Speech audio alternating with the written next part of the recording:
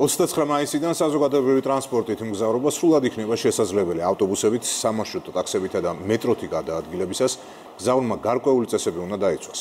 მაგალითად, სავალდებულო პირბადის ტარება. ნუცა ტრაპაიძეა პირდაპირ ეთერში.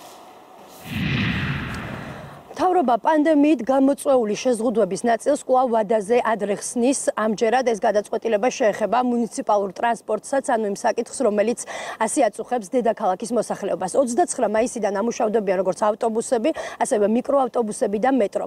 სპეციალისტების მოწოდებების მიუხედავად, მერია ამ ეტაპზე არ გეგმავს, რომ რამესახის შეზღუდვა დააწესოს მგზავრთა ნაკადზე, თუმცა მერიაში ამბობენ, რომ ამ სიტუაციას დააკვირდებიან და გადაწყვეტილებას მხოლოდ ამის შემდეგ მიიღებენ. მგზავრთა უსაფრთხოდ გადაადგილებაზე იზრუნებენ როგორც მუნიციპალური სამსახურის თანამშრომლები, ასევე საპატრულო და დაცვის პოლიცია. ორ დღეში ეს ავტობუსები უკვე დედაქალაქის ქუჩებში მოძრავებენ გადაწყვეტილება პრემიერ-მინისტრმა საკოორდინაციო საბჭოს დასრულების შემდეგ გაახმოვანა. იცვლება მუნიციპალური ტრანსპორტით მგზავრობის წესები, სავალდებულო ხდება პირბადის ტარება. 29 მაისიდან გაიხსნება ყველა სახის მუნიციპალური ტრანსპორტი, მათ შორის მეტრო და ეს მოხდება მხოლოდ და მხოლოდ კონკრეტული წესების დაცვით, ეს გახლავთ აუცილებელი პირბადის ტარებაა. ამაზე პასუხისმგებელი იქნებიან მუნიციპალური ტრანსპორტის ხელმძღვანელი ორგანიზაციები ან კერძო ტრანსპორტის ფლობელები. ავტობუსებში იკრძალება გაგრილების სისტემის გამოყენება. სავალდებულო იქნება მოძრაობა ღია ფანჯრებით. დედაქალაქის მერიაში არ გამორიცხავენ, რომ საჭირო გახდეს მგზავრთა რიცხვის შეზღუდვაც, თუმცა ამ ეტაპზე მოქალაქეთა დისტანცირების სპეციალური წესი არ იმოქმედებს.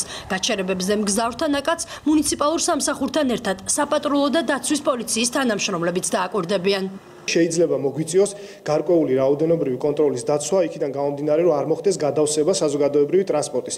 მაგალითად რო ავიღოთ მიკროავტობუსების შემთხვევაში ფეხზე დგომა რომ არ დაუშვათ იმიტომ რომ სხვა შემთხვევაში შეიძლება ისევ ძიმე სურათი მივიღოთ. მიუხედავად იმისა რომ ეტაპობრივად დაიწყო მთელი რიგი მიმართულებების გახსნა მაქსიმალურად ყურადღება უნდა შევინარჩუნოთ მაქსიმალურად უნდა გაუფრთხილდეთ ერთმანეთს ავტობუსებთან ერთად ამუშავდება მიკროავტობუსებიც. დღეს კომპანიამ შეცვლილი წესებით მუშაობისთვის სრული მზადყოფნა გამოთქვა. მუშაობას იწყებს მეტროც, სადაც მგზავრთა უსაფრთხო გადაადგილებას მერია და საპატრულო პოლიცია გააკონტროლებს.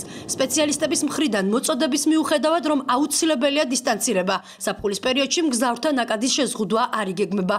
რაოდენობასთან დაკავშირებით ამ ეტაპზე კონკრეტული შეზღუდვები არ არის.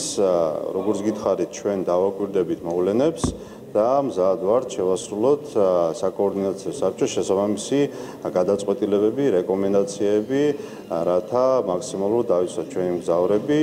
ქვეყნის მთავარი ეპიდემიოლოგი კი ისევ დისტანცირების აუცილებლობაზე საუბრობს. თენგის ცერცვაძის რეკომენდაცია ტრანსპორტში მგზავრთა მაქსიმალური დაშორებაა. უნდა მოინიშნოს ადგილები, თითო რიგში უნდა დაждდეს ერთი კაცი და არა ორი და რიგ გამოშვებით უნდა დასხდნენ. ისიც შესაძლოა ცოტა ნაადრევიც არის, მაგრამ აუცილებელია. ჩვენ ხო გავხსენით უკვე ჩვენ ხო შეზღუდვები მოხსენით, გვინდა გავხსნათ ეკონომიკა. სპეციალისტები დღეს ამბობენ, რომ ტრანსპორტის ამუშავების გამო ვირუსის გავრცელების ახალ ტალღას არელიან, მაგრამ ამბობენ იმასაც, რომ სიტუაცია მნიშვნელოვნად არის დამოკიდებული მოქალაქეთა ქცევაზე.